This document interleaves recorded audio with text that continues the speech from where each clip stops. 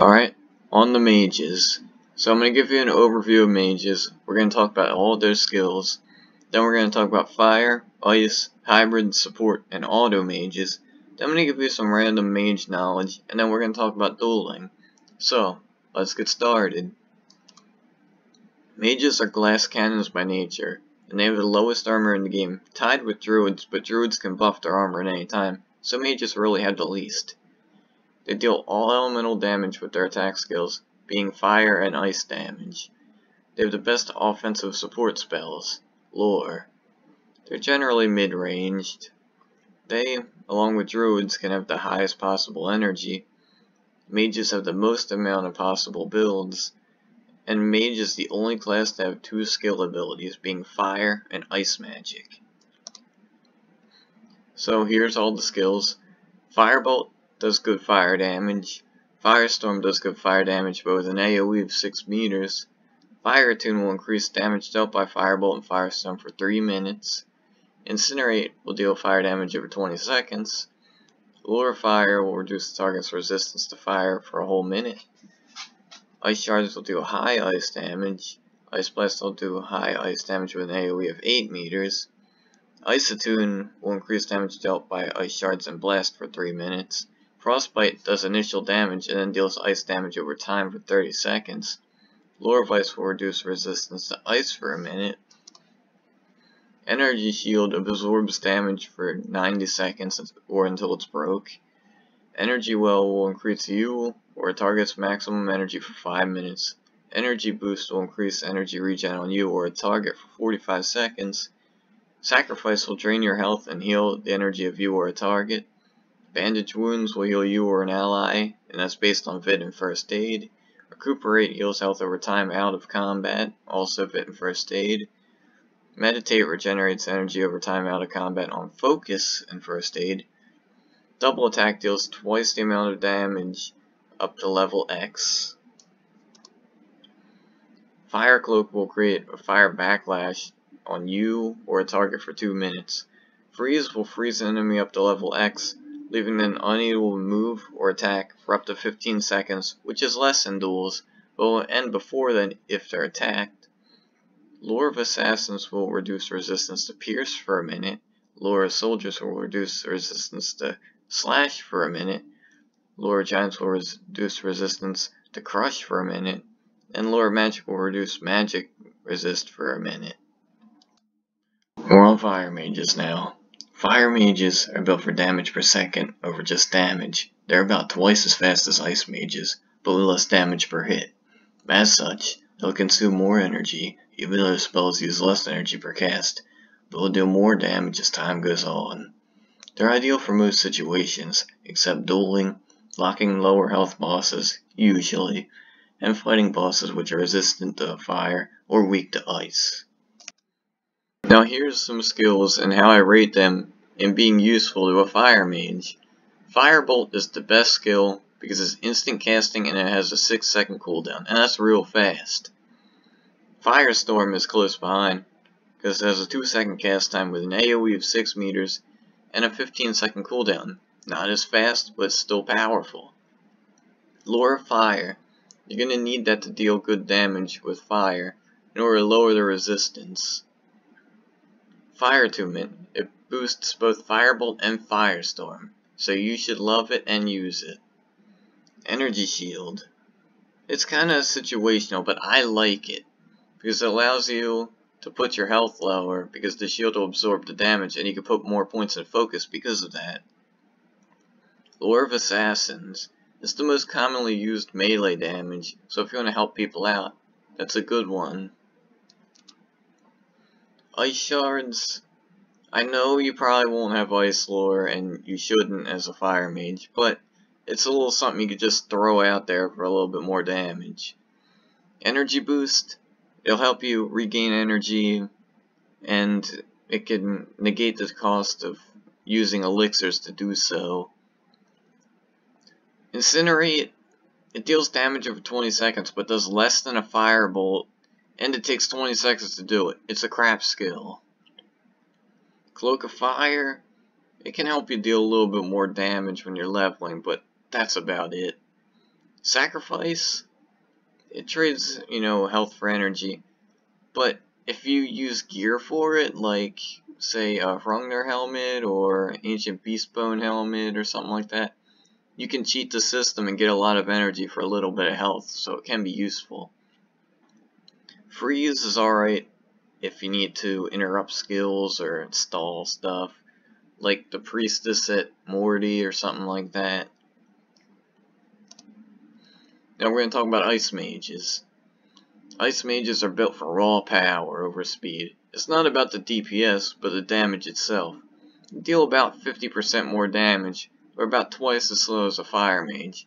There's some perks to it though. If you have a slower system, you can manage your energy better, even with the higher costs, because it uses less from attacking less as compared to fire.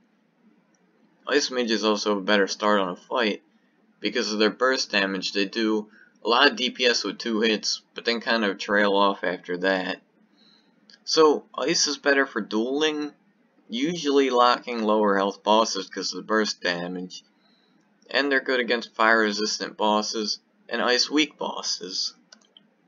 Now here's my ratings for Ice Mages.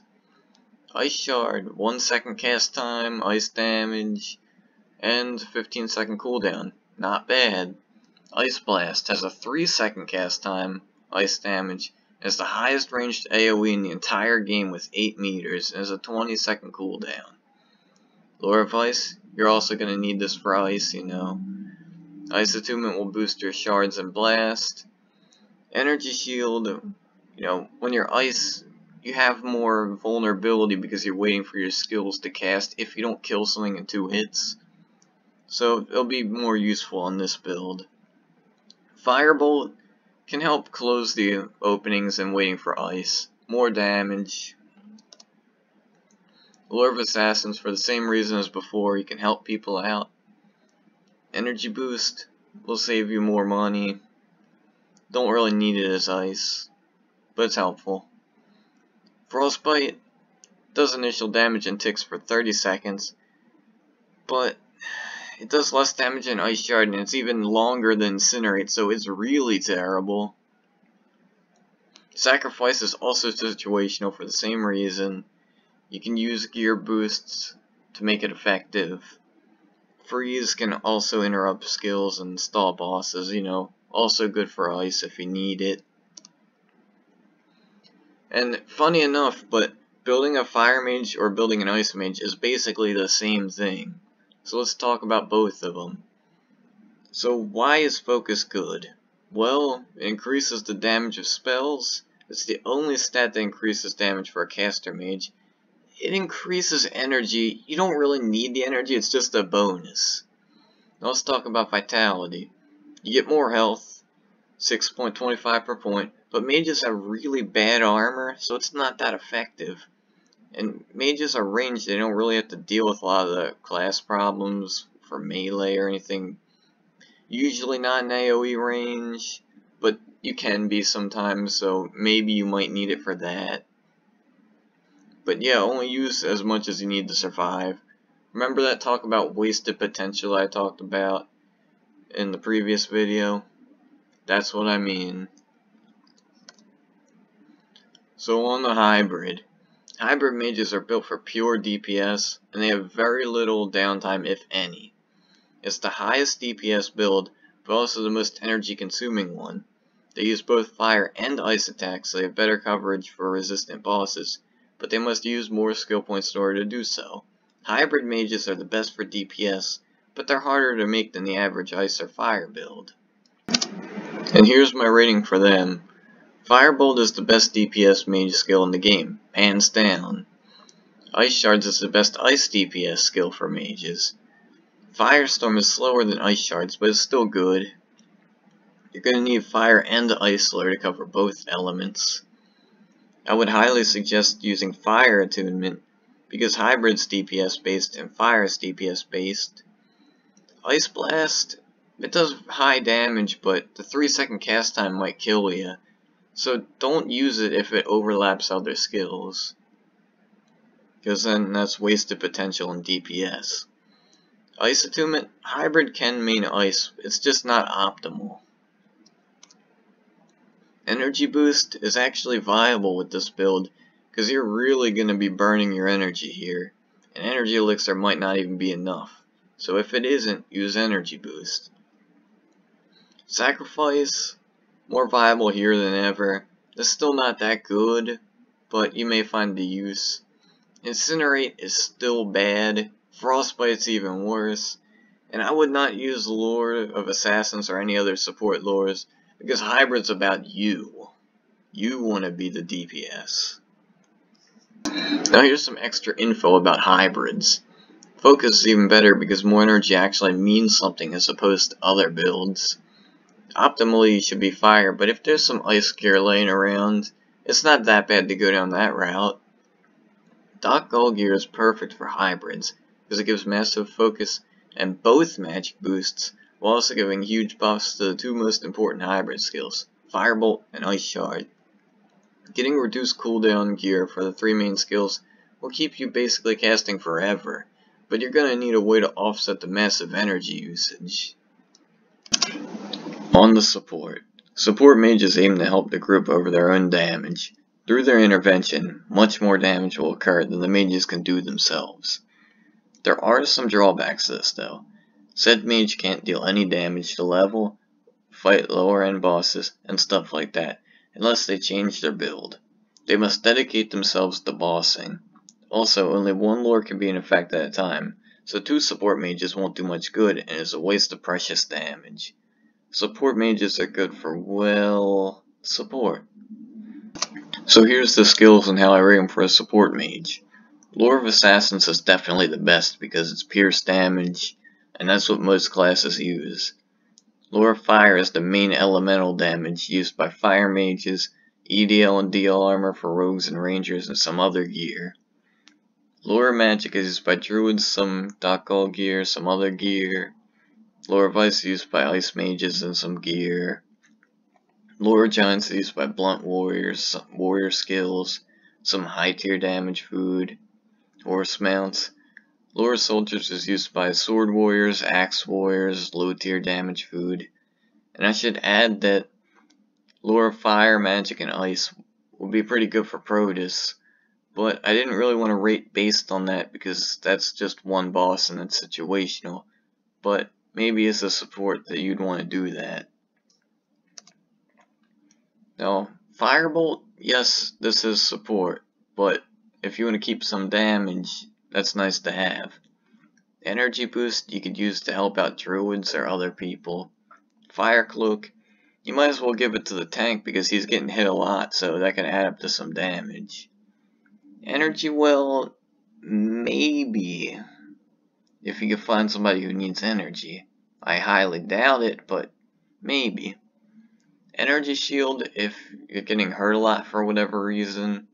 Sacrifice is free instant cast energy. It's okay. We're at auto mages now. Auto mages were an important build in the early life of the game, but fell out of style fast. They're still extremely effective and overlooked, though.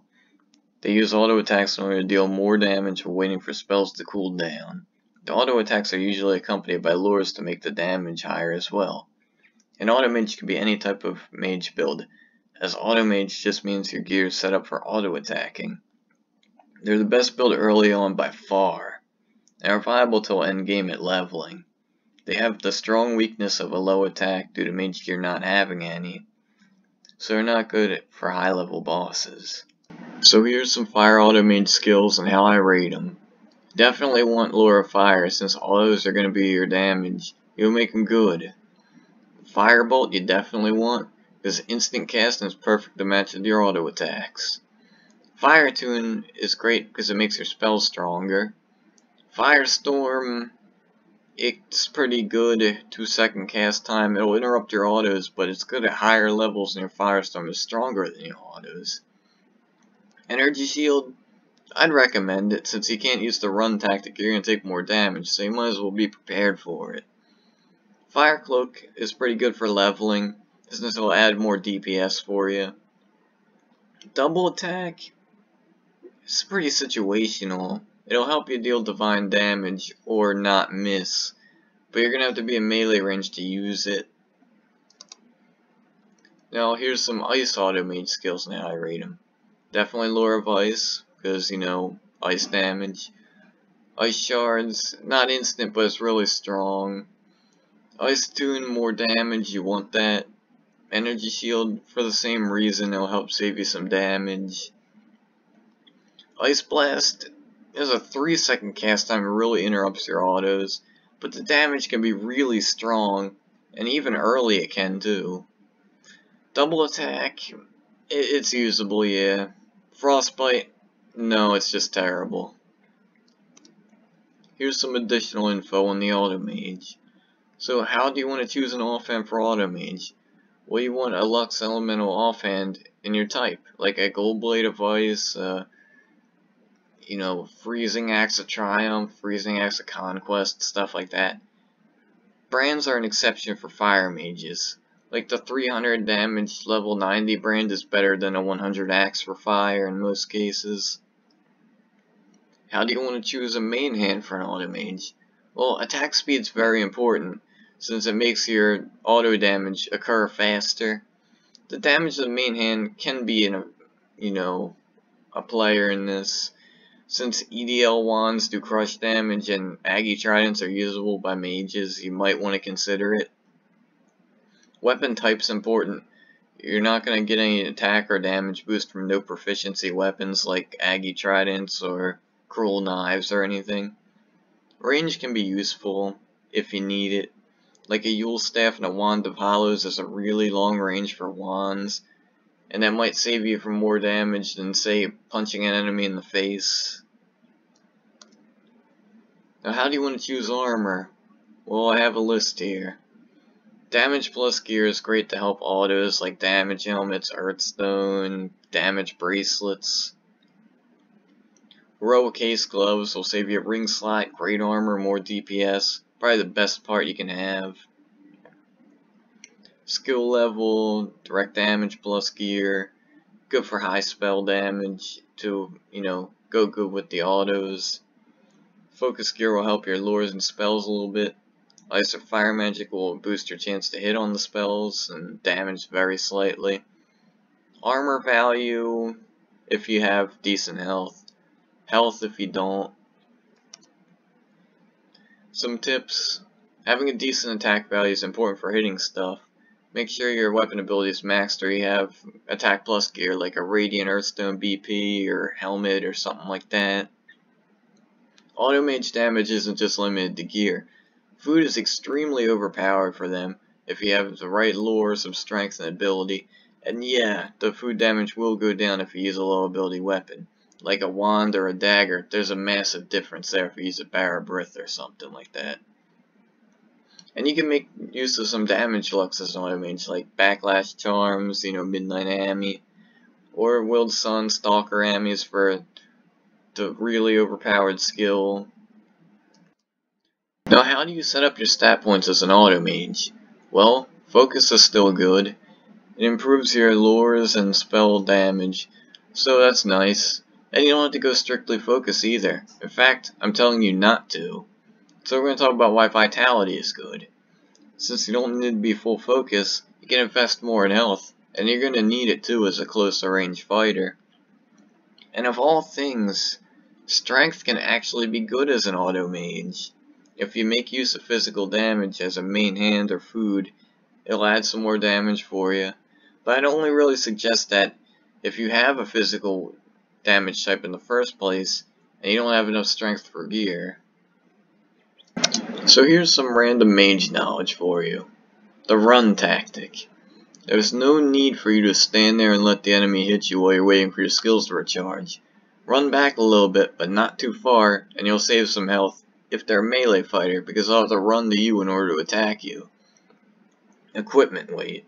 Unneeded armor and weapons will reduce your maximum energy, so only use stuff that will benefit you. Novelty weapons. They're actually good as a mage. Proc weapons can give you a lot of damage early on. Snowbound Candy Cane's a real good one for ice mages. And Lux mounts are pretty good too. Yeah, I know that you can have a focus offhand at 100 or something like that, but the high regen proc and sometimes the skill are really nice to have. Novelty notes.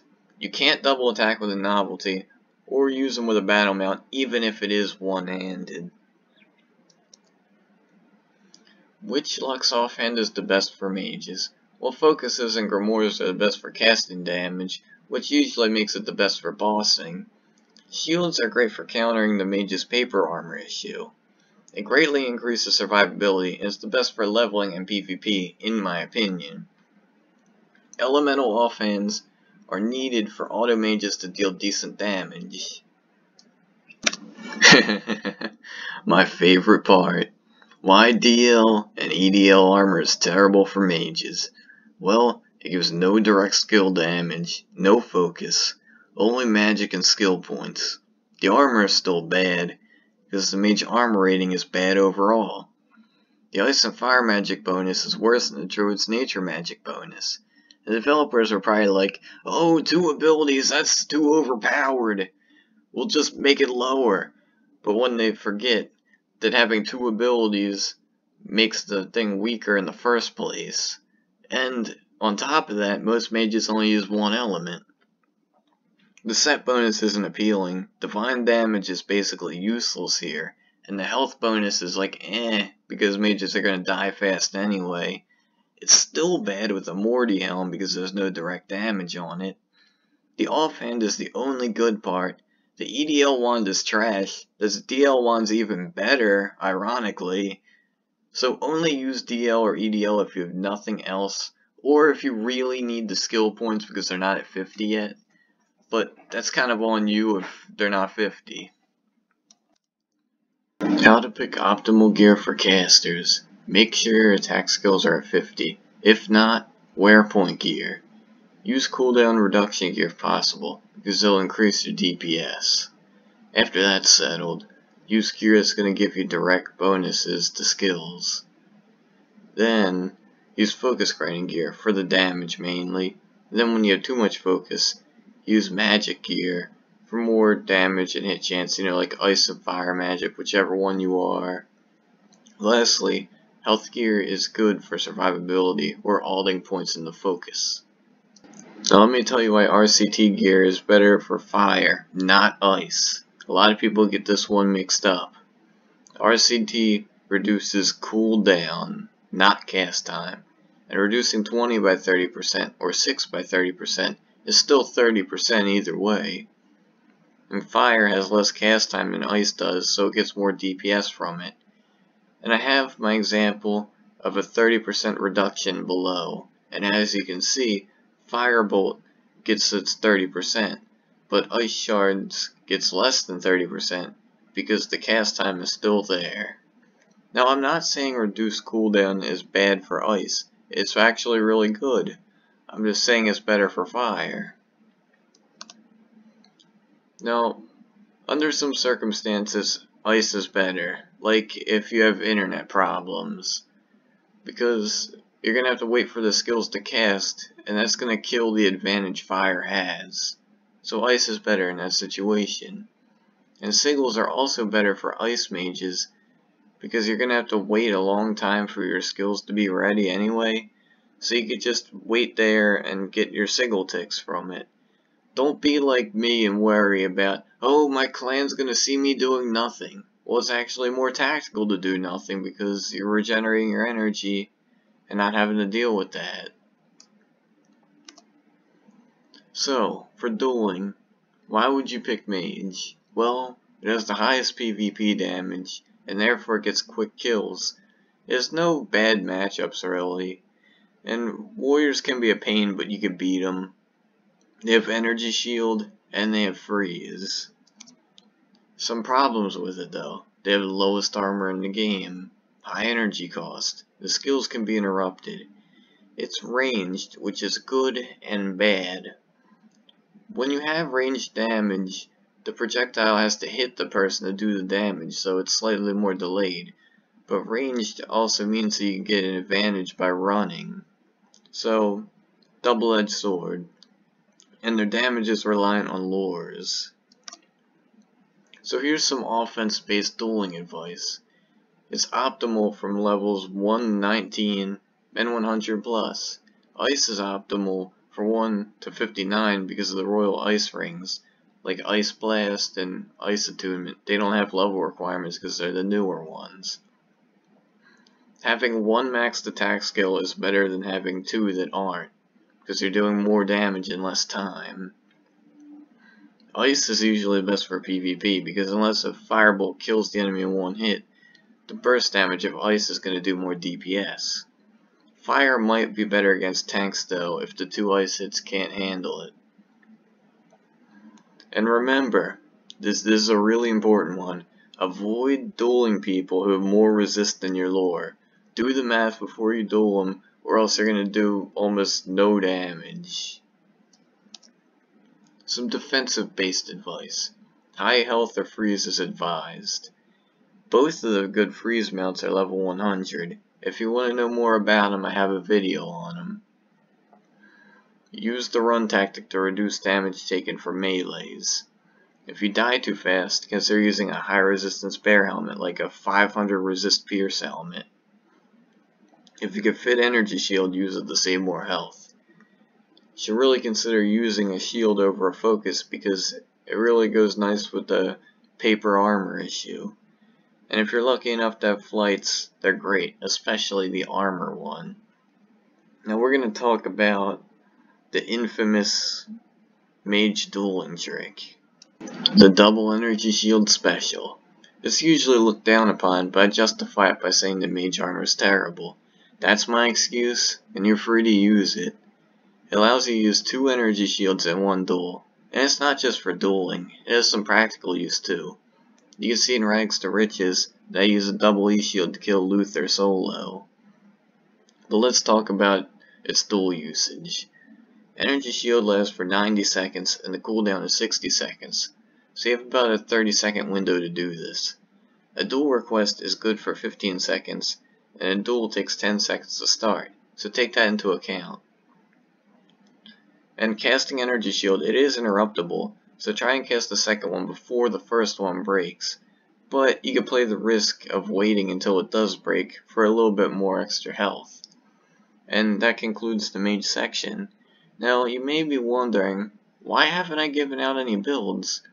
Well, I want to teach you guys how to make a mage because that's way more important than actually giving you a build. Because A, following a build would be hard because you'd have to find specific items. And B, if you copy a build, you're not really learning anything. It's just like when I try and teach people in FFEX about how to play. Well, Druid's next.